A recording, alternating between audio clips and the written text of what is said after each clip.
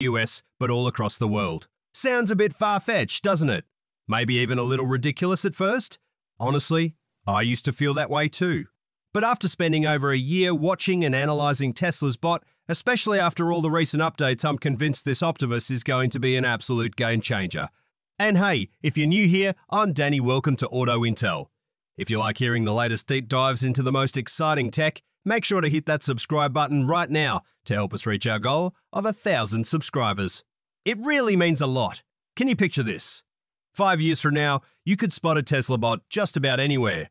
Tesla factories, city streets, parks, malls, hospitals, convenience stores, and maybe even just chilling next door at your neighbour's place. Do you believe that could happen? It's exactly what Elon Musk is aiming for. That's why he's not holding back investing tens of billions into this bot. Do you think that's too ambitious or just crazy enough to work? Let me know in the comments. Musk even hinted at this on X recently, saying, so many improvements to come in the next design of Optimus. That means Gen 3 is just around the corner. From what we've heard, Gen 3 is going to take a huge leap past Gen 2, packed with some seriously wild features, Tesla's final commercial version. Ready to hear what's inside the next gen Optimus? Let's jump into it. Back in August 2021, Tesla kicked off the Optimus project. Remember that first goofy reveal? A dancer in a suit? That feels like forever ago. Since then, Tesla's been dropping video updates that show steady progress. It was cool at first, but once Gen 2 dropped at the end of 2023, that was a game changer. Elon Musk and the Tesla team clearly believed they were onto something big, and customers started buying into the Vision 2. Before we talk about Gen 3, let's quickly recap what Gen 2 already achieved. Optimus Gen 2 could move 30% faster after Tesla shaved 22 pounds off its weight. This optimization gave it smoother, more efficient movement. Its feet were built to mimic humans with force and torque sensors that keep it stable even on uneven ground. Its hands were upgraded to 11 degrees of freedom, up from just 5, allowing for tasks as delicate as holding an egg without cracking it. Ever wondered if a robot could fold your laundry or sort color-coded blocks? Optimus Gen 2 could. Its neck gained more freedom too, moving more like a human so it could scan its surroundings better. And Tesla didn't stop there. They built custom actuators and sensors into every joint for better precision. Even its software got a big boost. Powered by neural networks and two-dimensional cameras, Gen 2 can navigate indoors without relying on GPS. Ever imagine a robot assembling parts in a factory or pouring drinks? Optimus Gen 2 can do that, sometimes with remote assistance. Here's the thing building a humanoid bot is five or six times tougher than making an electric car. Why? Around 70% of the challenge is all about integrating advanced AI. The hardware's tricky too. About 60 to 70% of each bot is put together by hand, not on some automated assembly line. That's what makes the leap to Gen 3 so important. When Elon Musk teased the new design on X last year, we thought we'd see Gen 3 by the end of the year. But Musk acknowledged this in November, tweeting that the toughest part is refining the design so it's easier to manufacture at scale. They want to nail the look, boost efficiency, and cut costs without losing performance all so Gen 3 can hit the market and make Tesla a leader in robotics. Pretty exciting, that. And what will Gen 3 actually offer? The hands alone will have 22 degrees of freedom, double what Gen 2 has. Pretty amazing, huh? Do you want to see a bot that can play the piano, pick up delicate objects, or do complex assembly? That's exactly what Musk and Tesla are aiming for. They even rebuilt the hands, so they're waterproof and hide the actuators and wiring. The Tesla team knows these hands will set the bot apart and help it do hundreds of real-world tasks. That's why they've spent so much time perfecting this feature. Hands with 27 degrees of freedom are closer to mimicking the complexity of a human hand. Sure, 22 degrees of freedom is still a bit short of a real human hand, but it's light years ahead of where they started. Tesla believes these hands could do anything a human can do.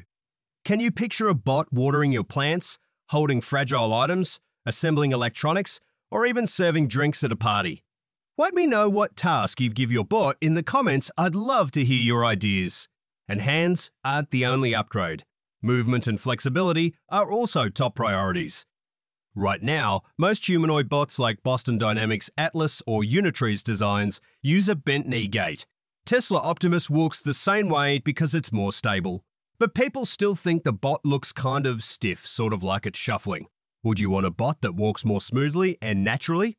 That's exactly what Tesla's working on. Optimus is moving at about 1 meter per second, roughly 2 and a bit miles per hour. Tesla's goal is 5 miles per hour eventually. That's a big jump. And while they might not hit that this year, Gen 3 will definitely improve its stride. And this isn't just about looking better. Faster, more stable movement means Tesla's bot can do real world work faster and safer. Think about the impact of a bot that can work all day and all night without breaks, no mistakes from exhaustion, better safety in dangerous tasks, and total adaptability. That kind of endurance and flexibility could transform factories, warehouses, and even home chores. Have you ever thought about teaching a robot new skills just by showing in a video? Elon Musk loves this concept. Optimus could learn by watching YouTube or instructional clips, anything from assembling furniture to preparing a meal. Imagine uploading a video of someone cooking a recipe, then sharing that skill instantly with hundreds of bots worldwide. Would you like a bot that can pick up new talents as easily as you do? That's where Optimus is headed, and that's a big part of what will make this bot invaluable. Sure, most people can't buy one outright if it's 25 to 50 grand, at least not at first. But would you choose a Tesla bot over a Tesla car if you had that money to spend? Personally, I would. A car is parked most of the day, but a bot could work for you 8 hours or more, even pay for itself by helping you generate income. Run a shop, deliver packages, assemble products. That bot can do it all and help you make back your investment quickly. In fact, some analysts estimate a Tesla bot could save as much as 83 grand per year, with a payback period under four years. That's a strong return if you're a business owner. Do you see yourself putting a Tesla bot to work? Or would you rather wait and see if this all plays out? Let me know your thoughts in the comments. And if buying feels too steep, Tesla's also looking into a lease or rental plan a smart move, especially early on. Leasing means Tesla keeps control, can monitor safety, and can roll out updates faster. Plus, it lets companies and everyday people try a bot before committing to buying one. Would you lease one? Tell me your take. Would you rather buy or rent your bot? We also need to acknowledge the risks. Even Musk himself has warned that AI must be handled carefully. Remember, AI can be more dangerous than nuclear power if it's misused. That's why Tesla's committed to careful, responsible deployment. They want to make sure Optimus stays a helpful assistant, not some sci fi nightmare. Tesla's plan is to first put Optimus to work in its own factories. Thousands of bots will help Tesla make its cars faster and safer, and they'll only sell to customers when they know the bot can do its job reliably. In short, Tesla isn't racing to sell bots just for profit, they want to nail safety, performance, and utility first. Would you feel better knowing they're testing these bots internally before bringing them to your doorstep? That's a smart, responsible plan, right? And before you go, here's why all this matters. Optimus isn't just some gadget, it could change work as we know it. Tesla's not trying to replace humans, they're creating tools to help people do more. Think about how you could use a bot to simplify your daily routine or take care of dangerous or boring jobs. The Tesla bot could give you back time to do what really matters most, whether that's creating, spending time with loved ones, or just relaxing. So, what do you think? Would you welcome a Tesla bot into your life? Could you imagine one in your home or workplace? I'd love to hear your thoughts, drop a comment, and join the discussion.